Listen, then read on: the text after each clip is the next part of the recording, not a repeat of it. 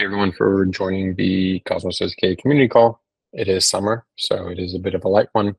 I think a lot of us, a lot of people are on their summer breaks. Kids are out of school, and so this is the time to take that time and spend time with family. Um, but for the rest of us, we're here hustling, building, and still having fun in the crypto space. So today, um, wanted to give you guys an update on where we are with uh, the release. Um, so this is the 52 release, uh, V2. Um, we've already released one blog post about LTS, so I also wanted to touch on that, um, just so everyone um, is aware of it, and some ideas that we, and then some ideas that we've been discussing for post release.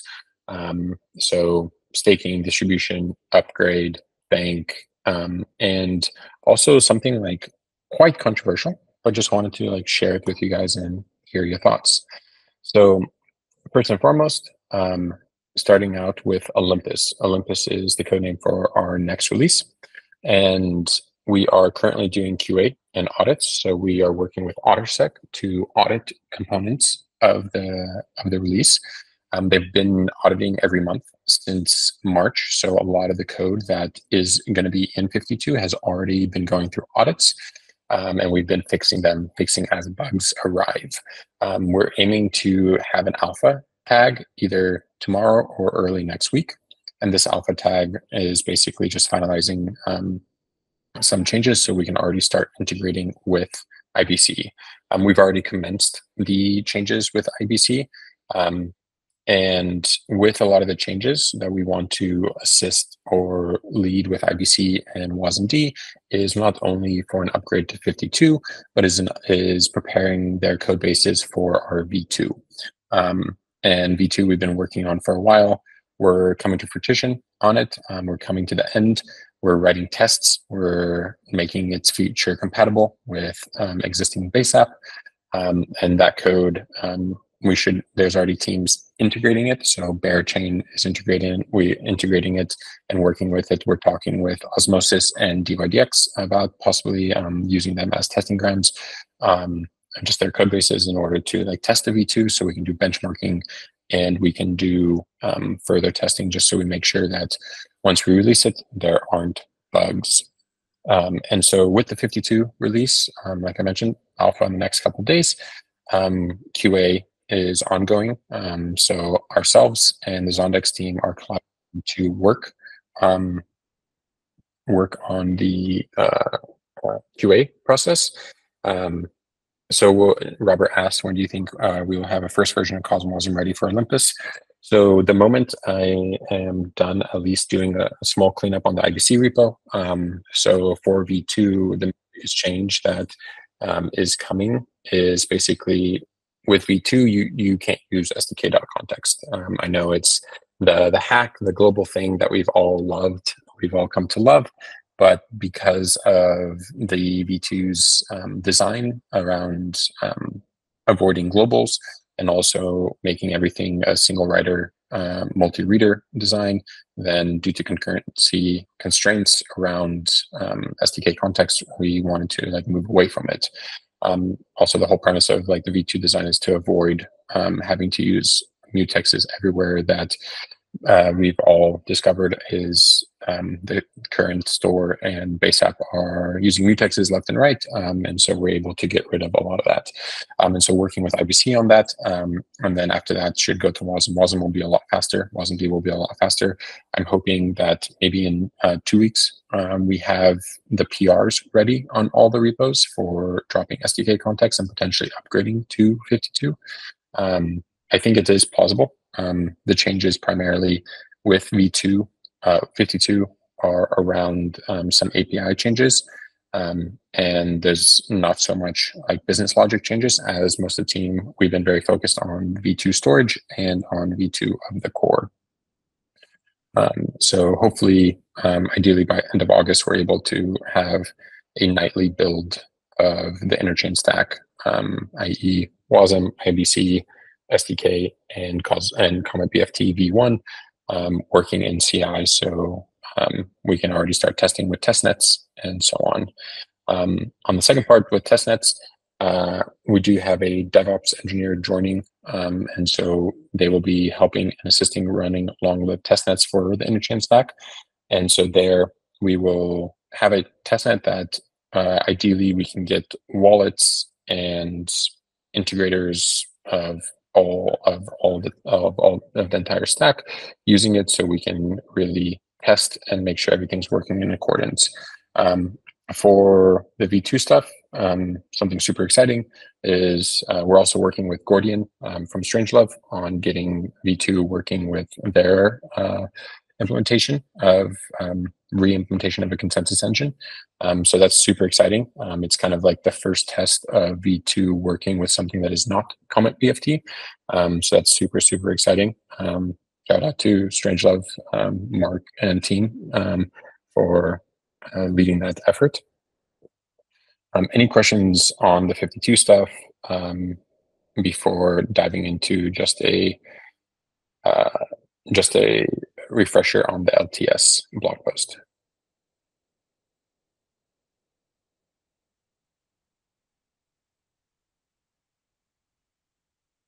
Awesome. So with uh, recently we released the blog post. Um, let me quickly dig it up.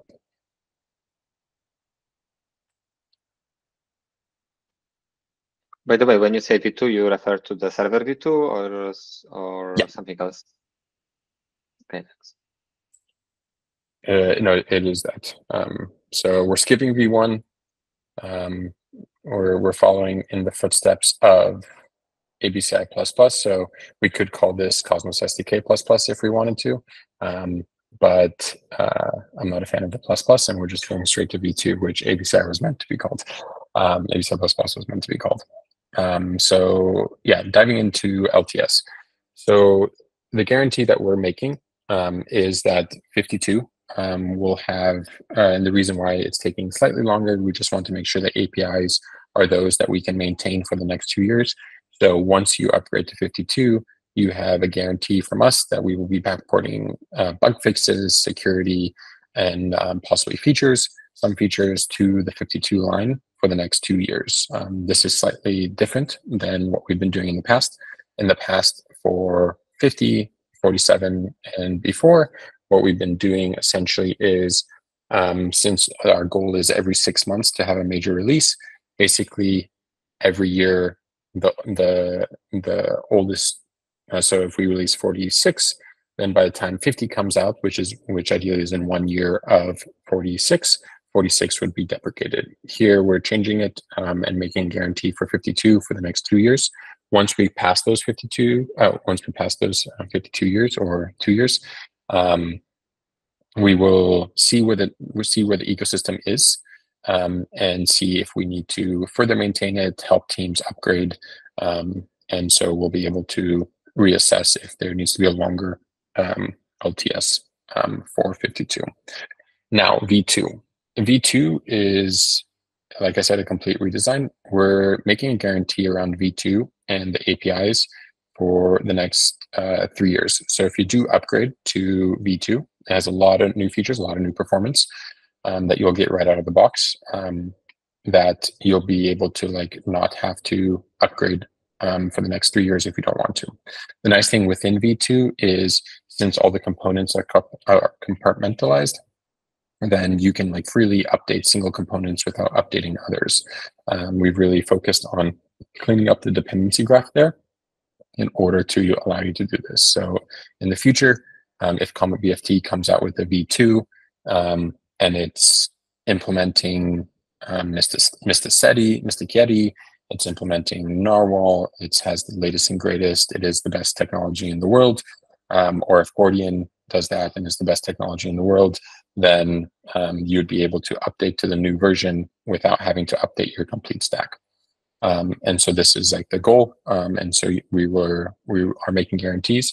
And really, what you as a module developer have to primarily worry about is the APIs within runtime or within core.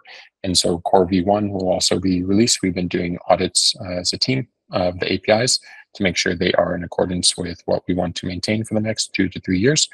And um, and so yeah, so LTS is here. Um, we've also been discussing with the Comet team. Comet is also working on LTS uh, design, and it should be coming out in the next couple of weeks. any questions around LTS, concerns, feedback?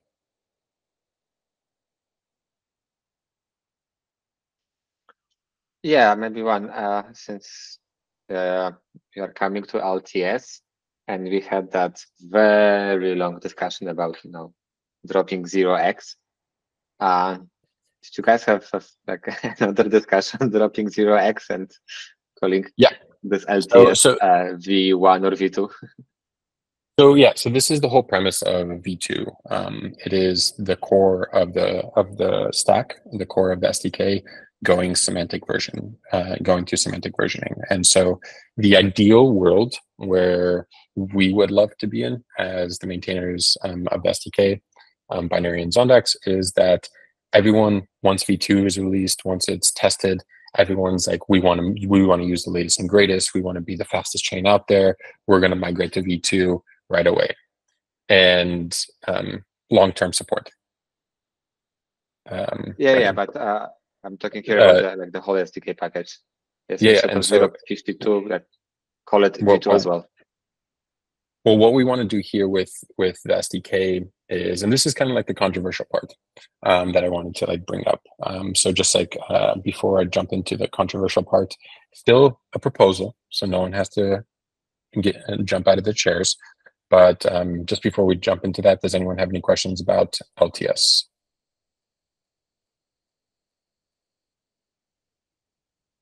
Okay, so controversial part. Proposal um, number one. So the maintaining of the SDK has been very difficult. Um, it's been very slow, um, and we've uh, it's been very hard to get releases out in a timely manner. And this is like the whole premise of the V2 work. Um, the current the core SDK has a lot of tech debt, and this tech debt uh, we need to make backwards compatible in order to really serve all the users because we don't know what users are using because there's so many features within the main Go mod Cosmos SDK, uh, Cosmos SDK slash, uh, sorry, uh, github.com slash Cosmos slash Cosmos SDK. And so the proposal that um, we have is once 52 is released, we want to really redefine what that package is. And what we've kind of come to the conclusion of is the ideal scenario is that package is around testing. It's around testing your application and it has some utility, utilities. What does that mean for the rest of the code base, um, base app and stuff like this? With V2 coming out, we really want to push everyone to go to V2, but we have, we're committing to the LTS. But after 52, we want to move into a direction where we can actually delete base app from the SDK. We can delete server and possibly um, client v1 um, w- as long as there's a new version for people to use that people are happy with. What does this really this really enables us to move forward and not have this mountain of tech debt that is very hard to move forward on.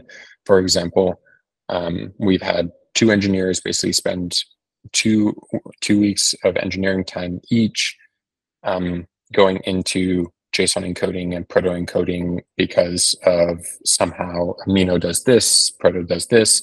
And so we've had to like debug where it is, how long it's been there, and find out more details. We've had to go talk to users. We've got to go look in Comet.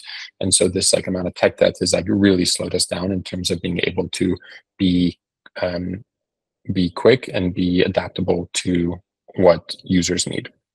And so in this perspective, the proposal is um, when everyone's migrating to V2 that we can get rid of the parts of the code base that V2 is not using. And so what does this mean is that potentially 54, 56, whatever the next number is, if it's even V1, that it will not include base app. Um, it will not include a lot of these um, components that were part of the V1 or the legacy way to write a application. Um, right now, it's still a proposal. We'll we'll write it up. I'll write it up and share it with people, and just want to get feedback on it. Um, but just kind of wanted to allow the team to really get over this hump of maintaining all this extra code that many people aren't even using. Um, for example, there's a feature with panic recovery that no one even knows exists, um, and we looked through tons of code bases and we find that no one's actually using it. And so, but it is API breaking to remove it. And so we'd rather do that as part of V2 than um, break it in the existing um, code.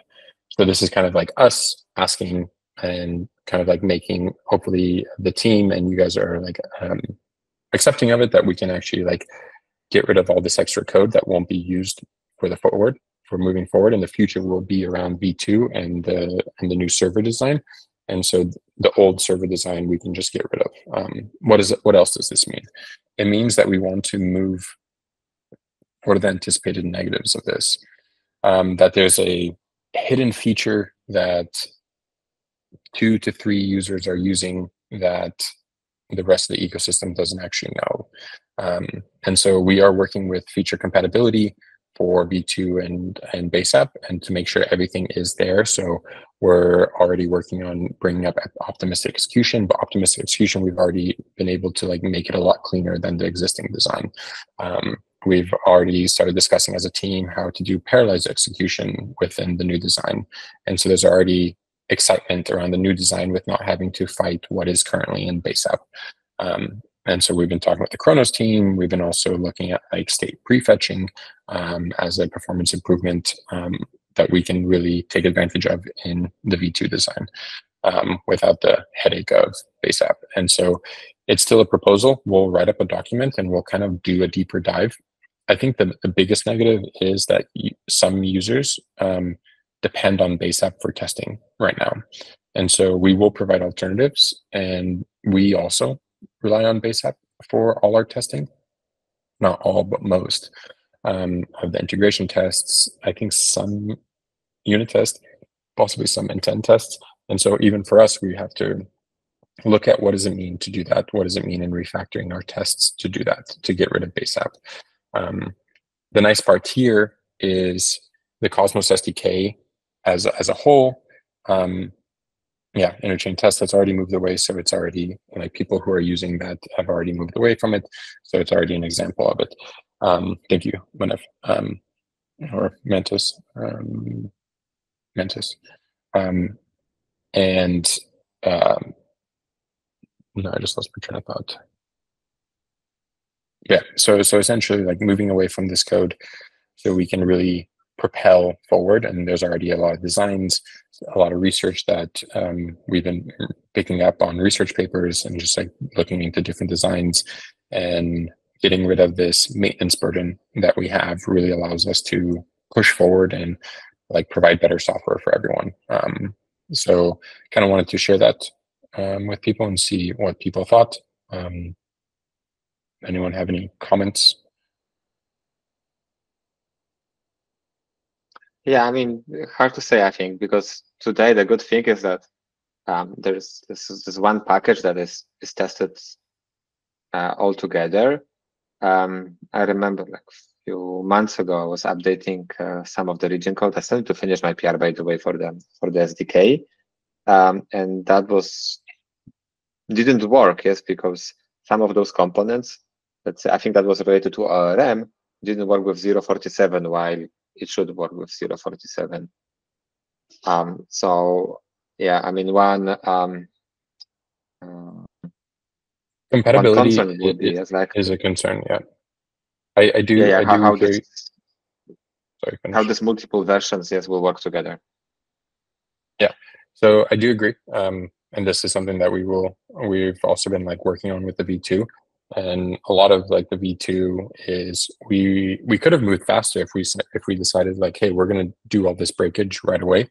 Um, and we could have been done with v2 a while ago. Um, but we wanted to make the migration to v2 as seamless as possible i.e the ideal scenario is in your app.go you just have to modify a few lines after you modify some of your modules but they're just api breaks no state breaks and then it should work. Um, and so instead of you having to like now import, compose the server and do all this stuff, app.go shrinks and you're able to really do it in a, in a seamless fashion.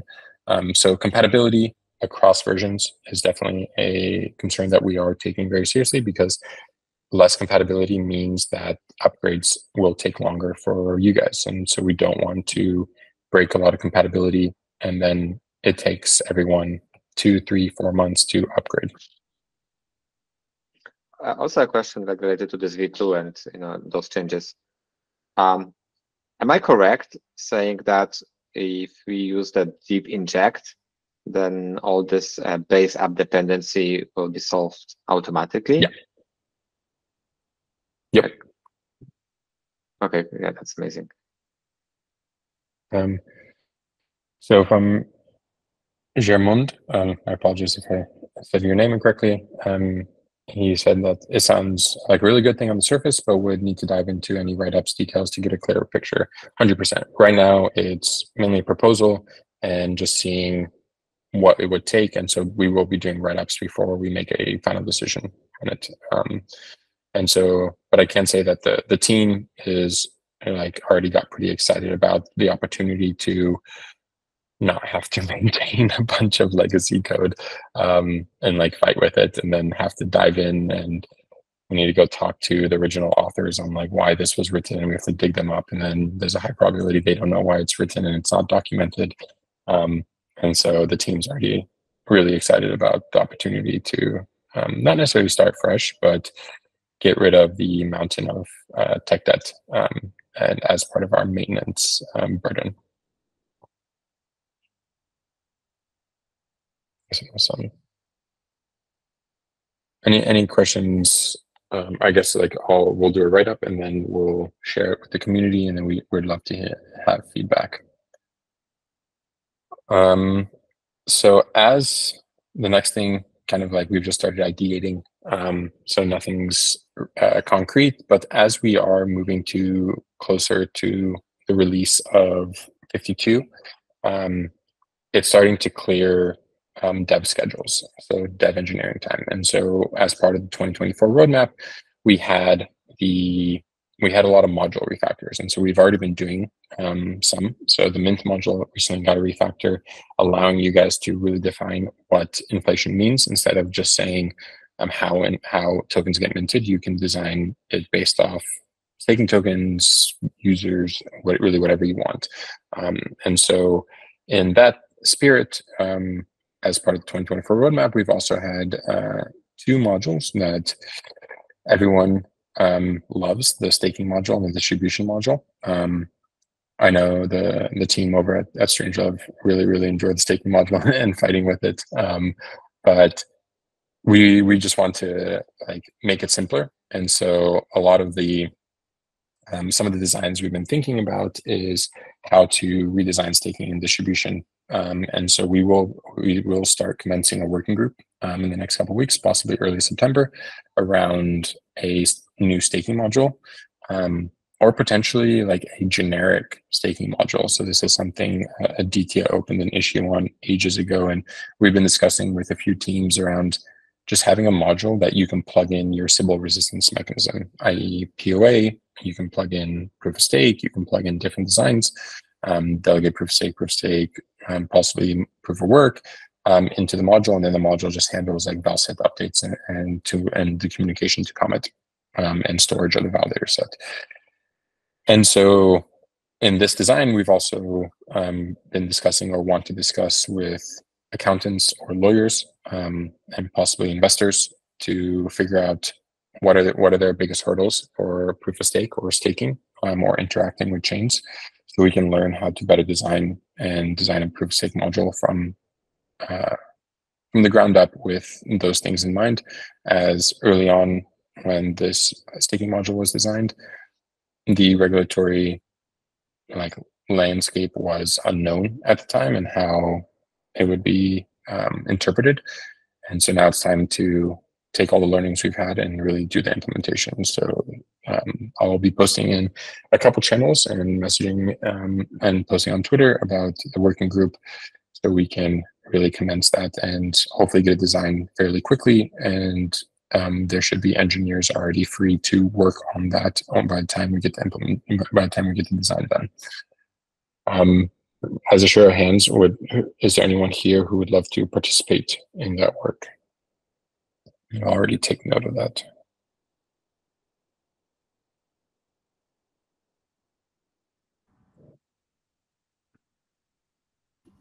All right. Uh, hi, Marco. Um, hey. I'm cur I'm currently working on a restaking program. So basically, we have multiple assets for staking and distribution.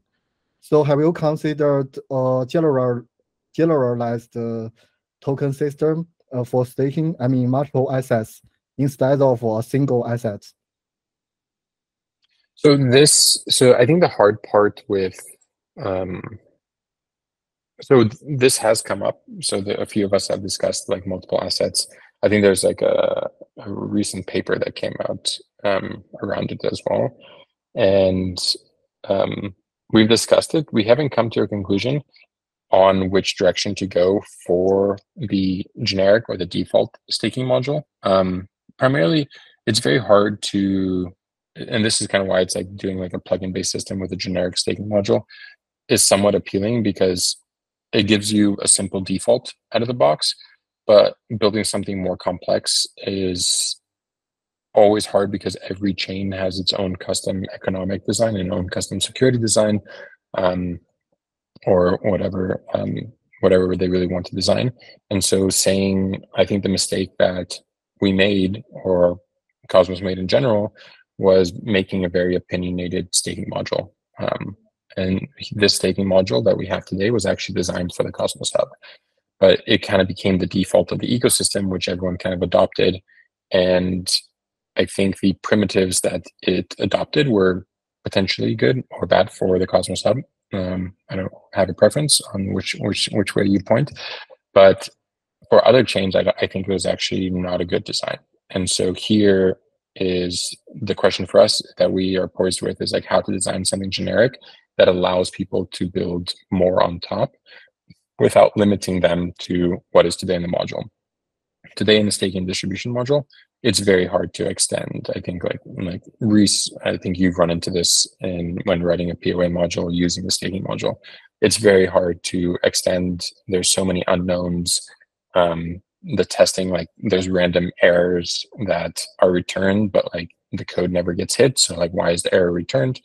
um, there's like stuff like this there's so many unknowns in the current staking modules that's very hard to like build on top forcing everyone to actually rewrite their own staking module or to rewrite modules from the ground up and so i think the best thing that we can do is provide something that is generic enough for people to extend and build on top of without forcing them in a single direction um, instead of saying like we're going to build liquid staking for everyone we're going to build multi-asset staking for everyone and then the staking module that we end up developing becomes a module with a lot of feature flags because it's supporting many different things. Um, so that's like the the current thought. I mean, that's just what like my opinion. Um, but I think once we start our staking working group, if there's alignment across the whole ecosystem on how it should be designed and what the economic models should be, And we can work on implementing that as well. Oh, okay uh, if the staking module and the distribution module is generic enough, maybe we could we could introduce this multi-asset staking easily. Yeah, exactly. So it's like, what is what are the fundamentals? Or um, I keep coming to the the meme of like the duck chasing the guy, saying like starting from first principles and like what are the first principles, but providing a good foundation for staking and distribution because in reality, I think 90% or even 100% of people on this call, um, we've all written a proof of stake system in a smart contract or in a module. So we've all had the experience of writing it. And it's not insanely complex build it. The, the Cosmos SDK staking modules is quite complex to understand because it was written early before many of us had that experience. And back then it was one of the first staking proof of stake systems in existence. Um, and so it had a lot of shortcomings, but now it's like from our learnings, we can really design something from the ground up that really provides a good foundation without having to make decisions for the end user. Um, I think like um, Rollkit, um, my note is like in the middle of my screen, but like um, Rollkit's a good example. It's like they had to fork staking in order to make it um, like non-validator based because it's like they don't have validators. It's a centralized sequencer. And so um, how do we make something generic enough that it's like teams don't always have to fork the staking module or rewrite the staking module. They can use what's there, but then also add a plugin or add a simple Sybil resistance mechanism on top if they even want one without having to like rewrite it or copy the code and delete a bunch of code and all this stuff.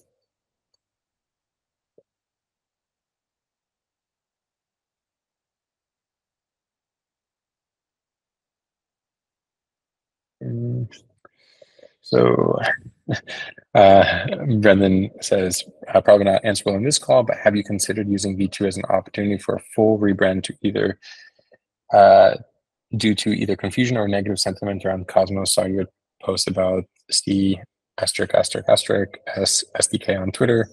Um, getting into V uh, getting into semantic versioning branding can also be confusing or negative, which we have found with DYDX v4. We're trying to get away from using V4. Um, so we did have this thought, and we are discussing it with um, with the ICF with Nico. Um, I've been slow to get back to him, but essentially, what we thought of actually doing was to take the Cosmos SDK and um, and then Mantis says could do the opposite of Cosmos and call it could call it Terra. Um, we'll call it Phoenix. Um, no, I'm just kidding. Uh, but well, we had the idea of taking the V2 work and branding it under a different name because the idea with the V2 was like to abstract like the SDK, abstract the Cosmos SDK out. But then what the Cosmos SDK is per se is runtime and everything above runtime. And so what so runtime is what composes the server and the modules. And so what the Cosmos SDK is is runtime and the modules when V2 would be something else. Um, so it could be rebranded into like Interchain SDK or uh, Owl SDK. I don't know. I have a towel right next to me. Um, um, and and then it's like V2 is like this standalone thing that has an API to communicate to different runtimes. And so actually what we were just discussing in our team call right before this was what what does this API look like to the, to communicate to different runtimes to a Rust runtime to to communicate directly to an EVM, MoveVM, SVM, um, and then also the Go runtime or quote unquote the Cosmos SDK.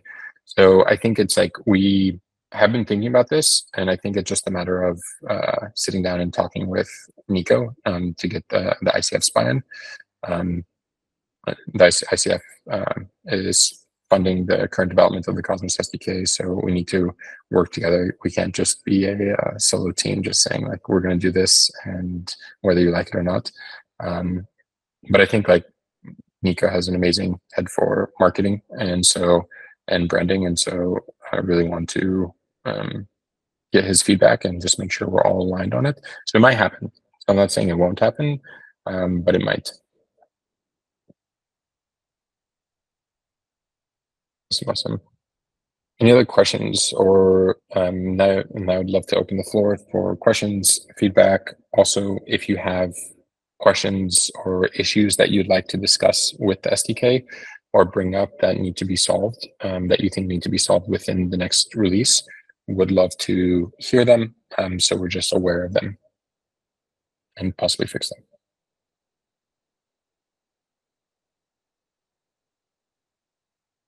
Anyone have any issues or questions about how to use the SDK or anyone can also ask just about the ecosystem too. Question for end of call.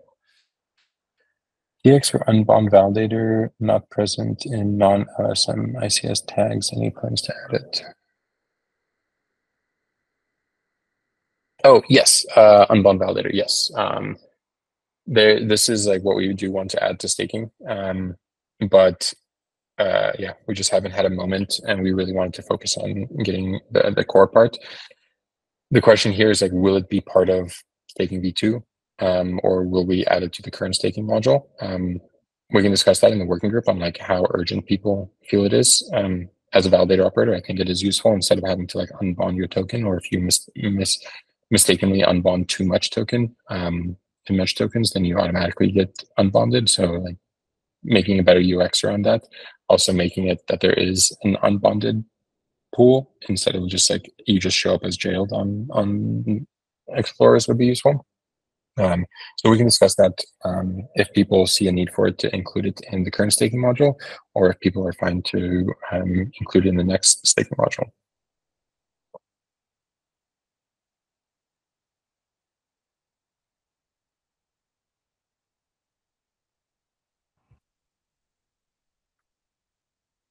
Any Uh, other? I have a- Yeah.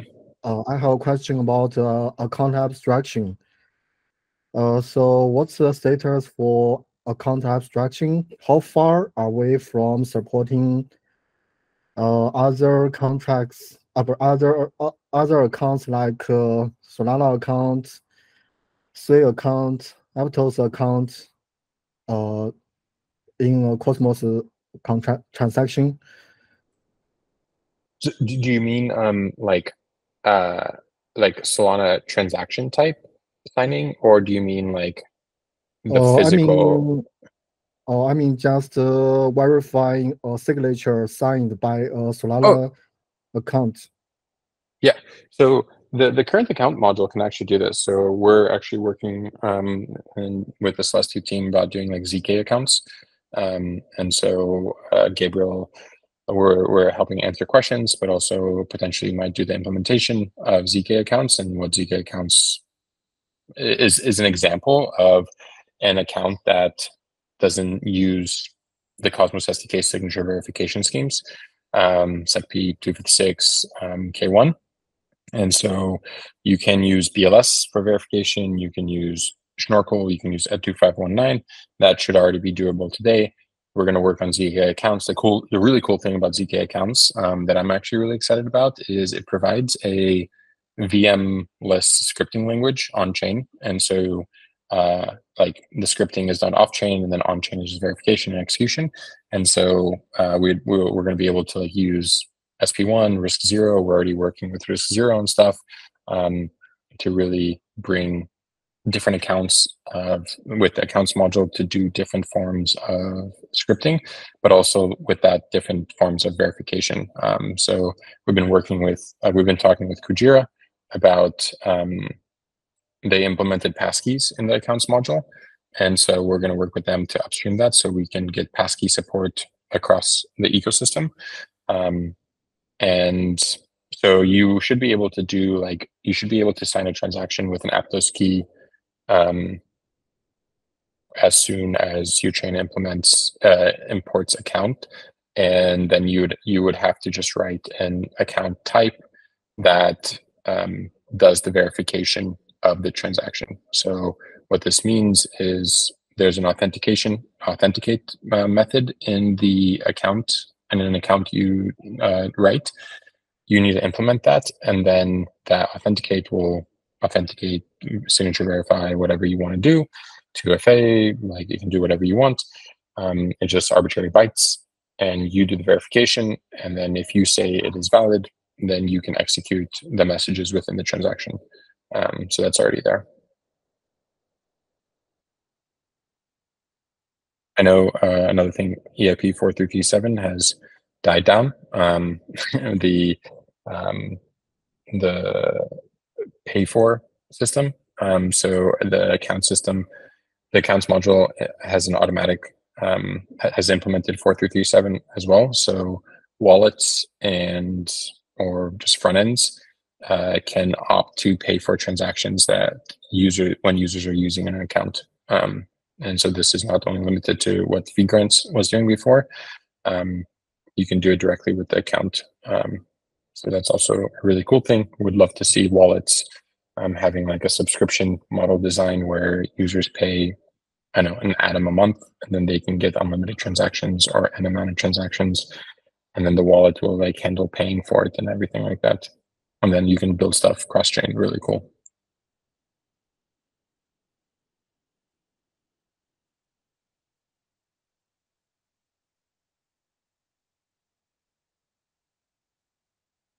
Yeah, Atish, uh, you want to go for it? Uh, yeah. Hi, Marko. Like it's been a long time. Yeah. Am I audible?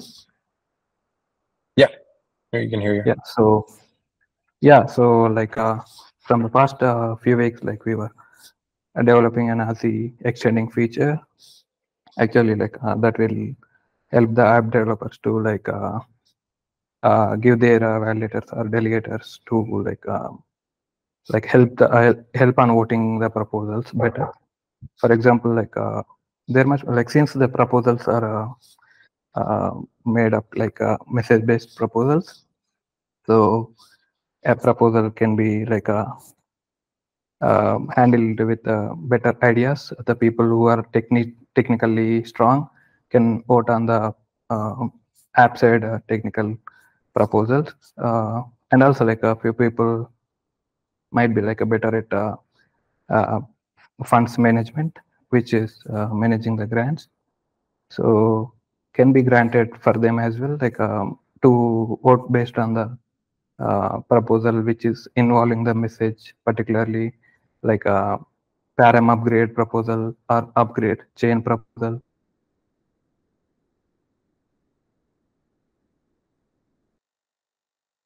To add chain. And some like uh, money, uh, like funds granting can also be like uh, uh, handled with a better better group or else like um, some better person, uh, like irrespective of the validator's id- idea or knowledge. So we can grant the people who are strong in their respective uh, positions can be like vote on the proposals based on our grants.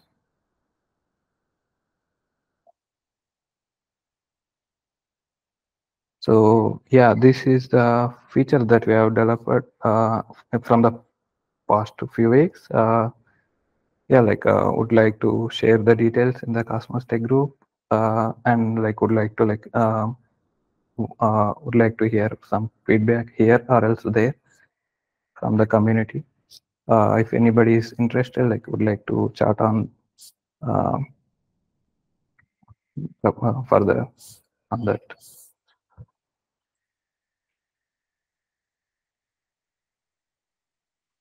Awesome. Yeah, definitely useful. Otzi, it's it's definitely fun seeing Otzi grow. It's have its own kind of like ecosystem and and long tail features.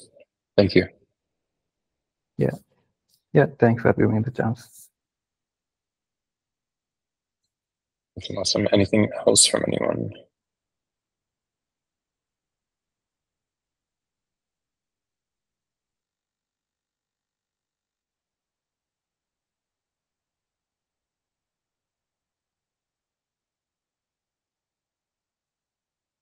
Awesome, awesome. Then we can end a few minutes early. Everyone enjoy the summer.